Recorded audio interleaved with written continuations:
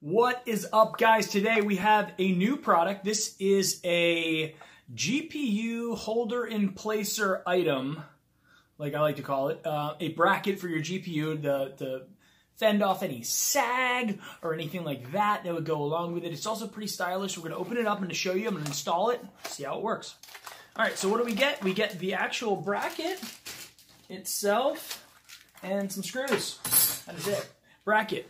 This looks like it is made from aluminum, like aluminum, and it is also, I, it looks like it's powder coated, um, powder coated, and then it's got the upHere uh, logo on top of it, and then you come with a couple screws with like um, a little bracket thing that you can put on here as well.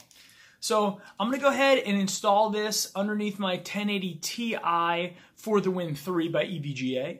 That is not really sagging, but I don't want it to because it is a heavy card. It's a little, a little burdensome. Um, so I'm going to go ahead and install this and I'll let you know my thoughts.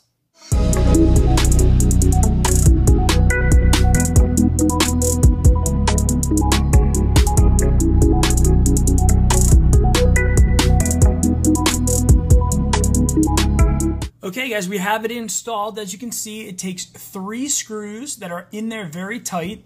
And then underneath it, it is kind of resting lightly on the GPU. Um, there's a little bit of flex here with it, but I can tell it, it, it's not going anywhere. And it, it's, it's picking up the weight of the back end of the graphics card. I like the red color. It goes with my build case design, the PUBG case here. So I think it adds a little aesthetic to it. I do like the fact um, that it gives my card support. Um, so there's no sag, there's no chance of that. It is in there. I mean, if you look at this right now, like I can't, if I push down, I'm not, I'm not getting much sag there at all. So that extra layer of support's really helping out.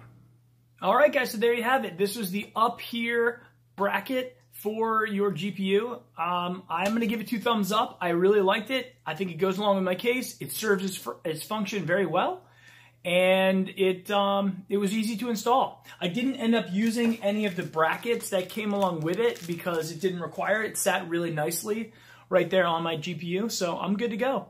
Thanks for watching, guys. I appreciate it. If you like the video, hit the like button, subscribe. Let me know in the comments whether you have one of these, if you find this valuable, if your graphics card is starting to sag down on your motherboard. Let me know how it's going. Thank you very much for watching, and I'll see you guys next time.